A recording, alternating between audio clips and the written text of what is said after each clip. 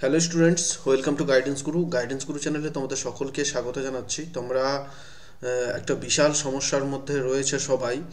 যেটা হচ্ছে SSC MTS এর যারা ভেবেছিলে যে এবারে পরীক্ষা দেবে এবং ফর্ম ফিল করবে, তারা কিন্তু যারা আগে ভাগেই ফর্ম ফিল করেনি, তারা কিন্তু একটা বিশাল সমস্যার মধ্যে রয়েছে। লাস্ট তোমাদের আর মাত্র একদিন সময় রয়েছে।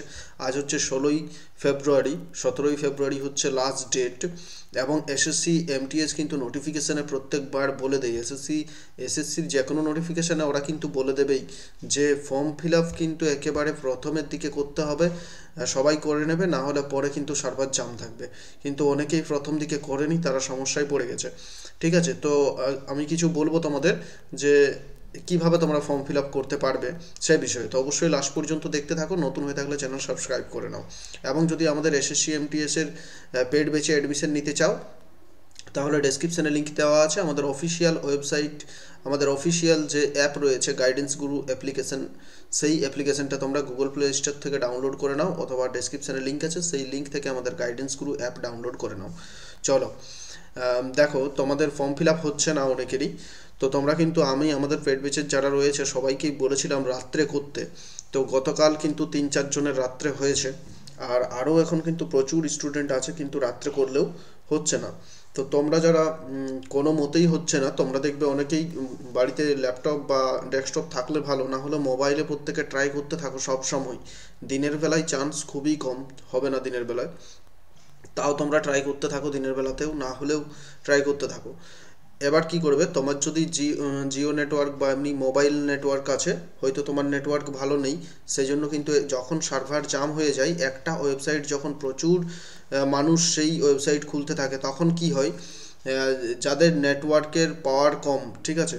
তো যেমন মোবাইল নেটওয়ার্ক যেগুলো, তারা কিন্তু সহজে ক্যাচ করতে পারে না বা সেই ওয়েবসাইটে ঢুকতে পারে না। তাহলে যাদের ব্রডব্যান্ড থাকে হাই স্পিড নেটওয়ার্ক থাকে, তারা কিন্তু সেই ওয়েবসাইটে ঢুকতে পারে।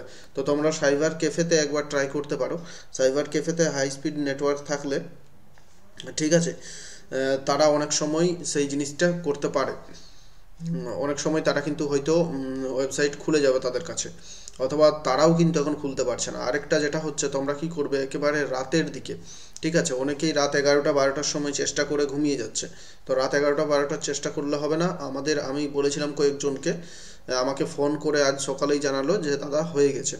ফর্ম ফিল আপটা হয়ে গেছে। রাত দুটো পঁচিশে ওর কমপ্লিট হলো। একটা পঞ্চাশের দিকে ওপেন হয়েছিল সাইট, দুটো পঁচিশে কমপ্লিট হলো। তো রাত দুটা তিনটা। রাত বারোটার পর থেকে চেষ্টা করো। সকাল পাঁচটা পর্যন্ত চেষ্টা করো। তোমাদের শিওর বলতে পারি যে আজ রাত চেষ্টা করো, তোমাদের কিন্তু হয়ে যাবে। ঠিক আছে? সারা রাত লেগে থাকো, হয়ে যাবে। আর মোটামুটি অনেক স্টুডেন্ট হয়ে গেছে, কিছু কিছু আছে, সেগুলোও কিন্তু আজ হয়ে যাবে। আর না হলে এসএসসি জিডির সময় কি হয়েছিল, তোমরা প্রত্যেকেই জানো এসএসসি জিডির সময় কিন্তু টাইম বাড়ানো হয়নি। সেটা একটা বিশাল প্রশ্ন সবাই করছে যে, এটা কি টাইম বাড়ানো হবে? তো এসএসসি এমটিএস এর কিন্তু চান্স খুবই কম, এক পার্সেন্ট চান্স রয়েছে যে টাইম বাড়াতে পারে।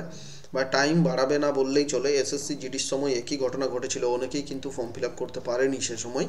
তো টাইম কিন্তু বাড়াবে না।